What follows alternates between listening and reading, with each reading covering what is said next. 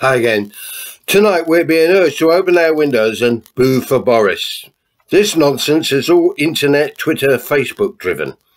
So, this is what political opposition has degenerated into. The politics of the prep school playground.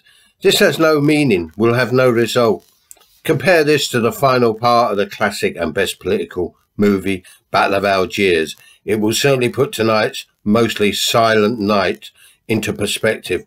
Quite honestly, I can't wait to see some real action streetwise, not passive middle class leftist demonstrations, sterile rallies. Post C19, we're facing mass unemployment, homelessness, social dislocation, intense civil disturbances. Many of those booing tonight will be hiding under the duvets, quaking in fear soon as things erupt, as many of them did in 2011. Cummings, his performance last evening, I'm getting a bit tired of it all, despite the unintentional comedy.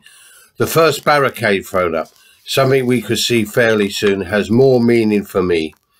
We want kickoffs, not tick-offs, not lefty liberal toss-offs.